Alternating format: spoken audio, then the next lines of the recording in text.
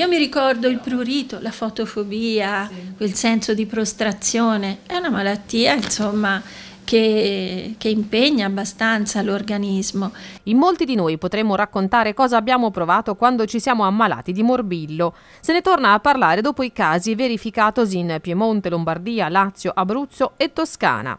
131 casi su 1300, quindi il 10% riguarda gli operatori sanitari, il che francamente dispiace e non lo vorrei neppure dire, ma lo devo riconoscere. Ad Arezzo c'è stato un unico caso, una donna adulta risolto positivamente. L'obiettivo per eliminare la malattia sarebbe del 95% dei bambini vaccinati. In Toscana arriviamo all'88, ma è una percentuale che scende ogni anno c'è una sacca di bambini suscettibili che poi diventano ragazzi suscettibili, adolescenti suscettibili che si allarga anno dopo anno.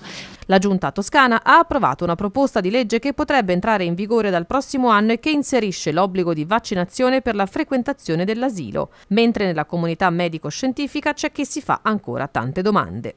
I vaccini sono farmaci, come qualunque altro farmaco, come un ormone, come un antinfiammatorio, come un antibiotico. Quindi non riesco a capire perché. Se io posso segnalare un evento avverso che si sia verificato dopo un farmaco, qualunque esso sia, questo non, non, vale, non vale nel caso sia un vaccino.